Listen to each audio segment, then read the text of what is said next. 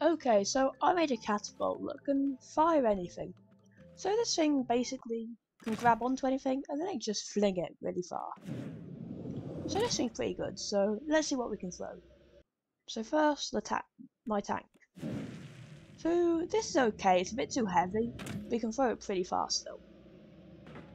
Then we're going to try my battleship, and it can't throw it since it's just slightly too heavy.